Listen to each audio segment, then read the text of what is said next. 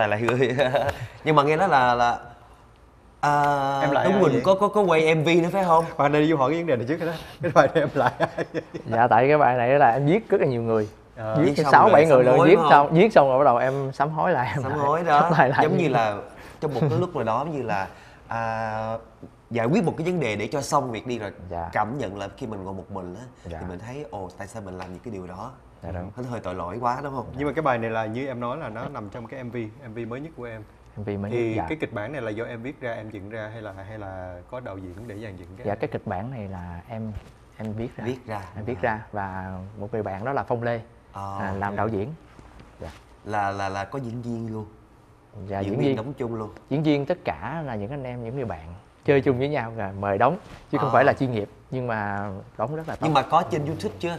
Dạ có có vậy quý vị nào rảnh search lên Tuấn Quỳnh chấp tay lại người Dạ, đúng. youtube thì sẽ thấy cái mv đó à, bạo lực như thế nào thực ra bây giờ Dạ. dễ lắm thực ra bây giờ là cái trà, cái cái cái trào um, lưu. cái thời đại của Dạ. cái trào lưu của YouTube của, của uh, mạng internet Ra là quý vị muốn uh, connect với bất cứ người nghệ sĩ Dạ, nào bấm tên lên. muốn làm bạn với người nó không như hồi xưa mà mình phải uh, đi đến tận nơi diễn để gặp mặt cái người thần tượng đó.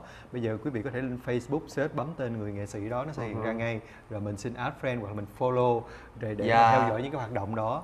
Thì hoặc là uh, mấy bạn là dễ. nhấn cái subscribe cái bên để mà coi. Đó là cái cách mà ngày hôm nay để quý vị lên YouTube search cái bài hát đó của Tuấn Quỳnh à cái gọi là em có post lên cái Facebook của em để cho quý Dạ vị có, cái có link này rồi. để có không? Dạ có. để mà xem coi trong đây cái anh chàng này làm gì giết người ra sao. Nghe, nghe thấy dễ sợ quá giết người xong đi sám hối tại sao không sám hối trước? Để đừng có giết người. Quý vị thấy gì chứ? Thấy mặt ờ, vậy thôi chứ mà rất là hiền rất là là là là, là bình dân chứ không phải mà phải lên vượt một cái giang hồ đó như chỉ là đóng phim thôi. Ủa nhưng mà quỳnh ở việt nam mình có đóng phim chưa? Dạ chưa nổi chưa đóng phim. được qua đây chỉ là quay mv theo cái dạng phim.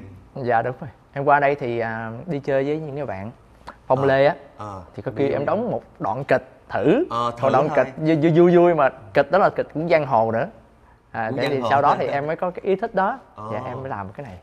Vậy thì là mai mốt có, có nó, phim nó, gì thì nó rất được. là dễ để là một cái sự hiểu lầm cho quý vị khán giả bởi vì là đúng không? Em đồng ý không? Đôi khi mình nhìn một cái mv đó hoặc một cái người nghệ sĩ đó bên ngoài mình chưa tiếp xúc thì mình rất là dễ ờ, ờ, hiểu lầm là cái này chắc nó quậy lắm. Thấy không? Nhìn, nhìn chắc nó không nhưng mà hồi xưa ờ, thanh nhớ hồi xưa là quỳnh có hát với anh hoài linh hồi lúc quỳnh để tóc Ồ. dài lắm Ở tóc Việt Nam dài hả? cái đời cái Ở cái thời. Dạ, cái rồi. đó anh hoài linh cũng tóc dài mà highlight vàng vàng đó quý vị quay ở ngoài biển hát hai anh em song ca bài gì đó phải không dạ cái thời đó thì à, nhắc tới anh Hoài Linh là anh Hoài Linh cũng là người giúp đỡ em rất là nhiều ồ giống như em em đi hát trong cái nụ cười mới đó Ừ. thì à, anh Linh nói anh Linh rất là mến cái giọng hát của em Ừ. nói em em thu hai bài đi anh sẽ đưa em qua tiếng Nga. Yeah đó dạ, thì em về em thu em thu hết bài này tới bài kia là, lúc đó cái CD Việt Nam em có là gì anh Linh á Ừ, ừ. yeah. hết bài này tới bài kia nhưng mà ừ, lúc đó em mới đi, đi hát cũng chưa có lâu á Ừ. cho nên em hát trong phòng thu không có hay phát âm không có chuẩn anh Linh có nói em hát chưa có được cho nên không có đưa qua được cái, Ờ. cái mình chưa chưa tới chưa tới. thì rồi em hát một thời gian nữa đó Ừ. thì, thì trong lúc đó thì à, thân với anh Linh Ừ. thì có nhờ anh Linh hát với em một bài cho nó lạ ừ. để gửi đến khán giả thì anh Linh có giúp em cho nên Ừ. hát là, chung là hai anh em quay dạ, luôn. anh em quay chung một bài đó. đó cũng lâu rồi hả quỳnh năm cái bài đó lâu. Lúc đó đi quay á, là đi ở Phan Thiết chạy xe ra Phan Thiết. Anh Linh đang đi chơi ngoài đó. Cái em chạy ra ngoài đó. Em quay Quay quay mà anh Linh đang bị bệnh nữa. Ồ. Trước khi quay anh phải cạo gió nữa. Rồi quay như có, có một tiếng rưỡi à rồi quay cái video clip đó. Ồ vậy anh bị bệnh quá nhưng mà anh cố gắng Đúng rồi. cạo gió xong đi ra quay đúng tiếng rưỡi rồi xong rồi cái video Ừ, một cái, cái kỷ niệm, Dạ, kỷ trong, niệm. trong, trong đời thôi kỷ niệm mà cũng thấy được cái tình cảm của um, các bậc đàn anh đàn chị đi Dạ. trước hỗ Dạ. trợ cho đàn em đi sau về rồi có nghĩa là cái này là một cái cái cái, cái ấn tượng một kỷ niệm rất là đáng nhớ trong đời của em Dạ. nhưng mà rồi cái từ cái cơ duyên đó là khi sau này em đi vào cuộc thi của uh, V-Star như vậy thì có phải là anh Linh là, là cái người thứ hai bắt cái nhịp cầu cho em cái cái người để tiếp tục để bắt cái nhịp cầu cho em để đi đến với chương trình không hay là từ em Tự- đăng tự ký đăng em ký trong cái cuộc thi đó thì có giám khảo hết rồi bây giờ hát hay hay hát dở là đúng rồi là giám Đúng khảo chấm rồi, rồi chấm liền rồi. Ừ, dạ ừ. cái không có nhờ được ừ. đó không có nhờ được nhưng mà ở trong nước làm sao em biết được những cái hoạt động ờ, em vẫn theo Theo theo dõi hoạt động ở hải ngoại không em không có theo dõi mà trong lúc đó thì em có đi hát cho chị Liên Phạm á ờ đi Ừ. bộ show bên đây dạ đi Dạ. hát bên đây thì à, gia đình em cậu của em ở bên đây á Hồ đăng ký biết, cho em đăng ký cho em trong lúc đó thì em may mắn em phỏng vấn đậu em qua là vừa Rồi đúng thi qua là. 4 ngày sau để đi thi luôn. Dạ là vô ôi thi. là theo thanh biết là gia đình ờ, cậu gì ở San Jose phải không? Quỳnh ở San Jose. Dạ, gia đình ba mẹ em cũng ở San Jose. Ở San Jose rồi bây Dạ. giờ là về lại OC rồi. Một mình Dạ. Quỳnh hay là gia đình luôn? Có một mình em. Em lên đây để em à, làm mấy cái show làm Cái mấy show cái à, MV này kia Ừ. thu CD ờ, lâu lâu rồi chạy về. Nhưng là Dạ, một ca sĩ trẻ mới xuất hiện trong cái ờ, làng giải trí của hải ngoại thì theo cái nhận định và cái nhận xét của em, cái cảm giác của em, em thấy cái ờm, cái giải trí, cái showbiz của hải ngoại mình nó có gì khác biệt với những năm tháng mà em còn ở Việt Nam, em sinh hoạt văn nghệ Việt Nam? Cứ nói thật lòng mình. không sao không sao không em sao thấy có cái sự khác biệt gì? Thí dụ như là ờ, khi mà em đi đến tất cả nơi em sinh hoạt văn nghệ, em đến với khán giả, sự khác biệt ở khán giả, các chị em anh nghệ sĩ Đi đồng nghiệp hát. với Ờ. trong bên đây với trong nước thì em có cảm nhận như thế nào?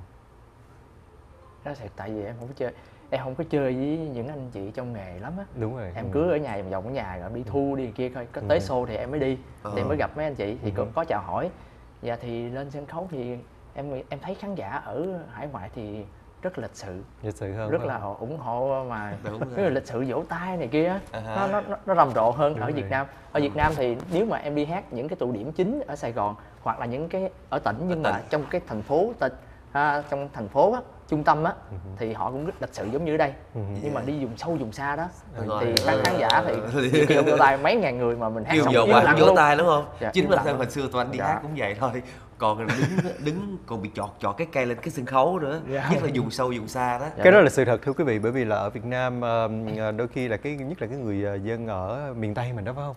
Đôi khi thí dụ mà thích ai thích dữ lắm.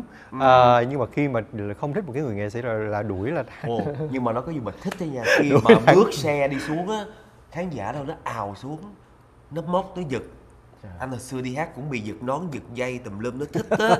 Nó giật luôn rồi mình đâu có lấy lại được đâu. Còn mà vô vô cái chỗ hát rồi mình không còn cái gì hết trơn. Thực ra Yêu mến là cái đó là đó. cái sự khác biệt thì à, mình thấy ở à, quý vị khán giả có thể là bên đây thì do cái cái cái cái cái văn hóa cái tập tục của mỗi cái quốc gia và mình người khán giả của mình bên đây cũng là quý vị khán giả ở đây lâu na- lâu rồi. Thành ra mình cũng theo cái cái văn hóa của bên đây. Thì cái điều đó là cái điều mà mình thấy rõ rệt nhất ví dụ như là ờ, như Quỳnh vừa mới thưa đó là khi mình qua đây mình phát hiện là khán giả bên đây lịch sự hơn Nhiều ủng hộ mình nhiều hơn đúng không? nhiều hơn. và đôi khi lỡ mà cũng không có thích mình hát cái gì thì cũng không có mà mạnh tay xử kiểu đó. Nhưng mà nhưng mà đi hát vừa có bóng hồng nào để ý chưa? Bông hồng. Bông hồng có để ý chưa? Dạ. Thì à, ở trên Facebook thì cũng có nhiều. Nhiều mà ở không ngoài không có. Chưa có hả? Chắc chưa gặp đó. Gặp. Và quý vị biết là thường là một à, một gương mặt mới đến với chương trình đối với làng giải trí hải ngoại thì thường chúng ta sẽ phải dành ha. thời gian hát rất là nhiều để cho gửi cái tiếng hát mình để cho làm quen với quý vị khán giả của hải ngoại à, để cho quý vị yêu thương nhiều hơn thì tất nhiên Tuấn Quỳnh cũng không ngoại lệ. Hôm nay là Vũ với Thanh nói là em sẽ phải chuẩn bị những bài hát rất là nhiều để gửi ít đến nhất quý là vị cũng ba bài nha thường thường là Tính ba là bài. nguyên cái live show đó nhưng mà bây chương giờ, trình bây giờ thì à, quý vị cũng muốn nghe Tuấn Quỳnh hát bài đấy cả dạ bài gì ta? bài gì đó cái bài này thì cũng à, à, Có- thích có- lâu lắm rồi mà hôm nay mới được hát. Ờ. À, cũng theo lời yêu cầu của nhiều à, khán giả. Khán giả đúng không? Đó là bài chuyến đò không em. Chuyến đầu không em. Ồ, chuyến đò không em. Dạ, Chà là không có em trong cái chuyến đò đó phải không? Rồi ok Thế quốc vậy đó chuyến đò không em. Tất nhiên không có em trong chuyến đò đó rồi. đò thôi. Nhưng mà chắc không có em này chắc có em khác. đưa đò mà đưa đò mà. Ok, bây giờ xin mời quý vị một lần nữa lắng nghe tiếng hát ờ, thật là truyền cảm của Tuấn Quỳnh qua show bộ 3. Ừ, à, và xin quý vị cũng đừng có rời khỏi màn hình, Vũ và Thanh cũng như là Tuấn Quỳnh sẽ trở lại ngay với quý vị.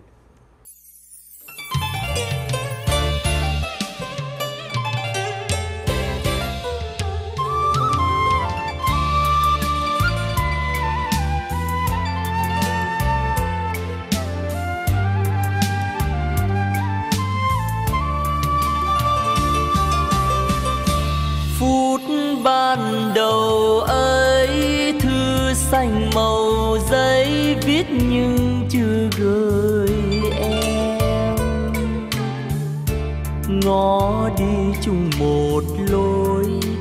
Đôi khi định nói với em một lời. Tình muốn còn e chung bước đường về. Nào biết được khi nói lên nỗi niềm vì neo vào tim. Mơ rồng hay khép môi thắm trao duyên. Cuối xuân hè tới, nhưng chưa lần nói lá thu rơi lại rơi. Ngắm xe xuôi ngược lối, kết hoa màu cưới, có đôi tin vào dù trước, dù sau, nhưng cũng một lần gửi đến người thương thiết tha nỗi lòng. Đời chưa hồi âm, để rồi cay đắng đến tay một hiệp hồng. Dòng sông mênh mang qua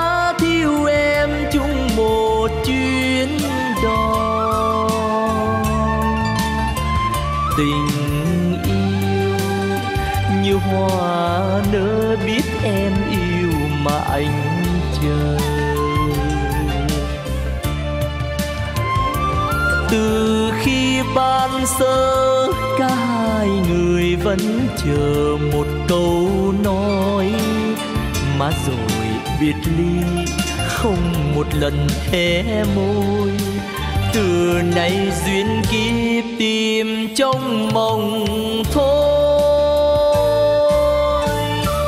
Gió thu lành ra bao nhiêu là lá bấy nhiêu cơn sầu đau.